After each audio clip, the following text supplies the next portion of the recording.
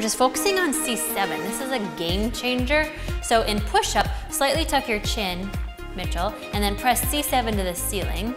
And then so when he does a push-up, he's gonna bend his elbows, and then really press first from C7 up to the ceiling. Push up, tuck your chin more, and then press more into the C7, lower down, and press up, push. Great. Now stand up. Now you all can find this at home. Find your own C7, the bony landmark on the base of your neck here. It's gonna press back, base of the head back, crown your head up to the ceiling. So then an air squat, feet hip width apart, toes turn out, he's gonna squat and stand up, still continuing to press C7 back to the back of the house.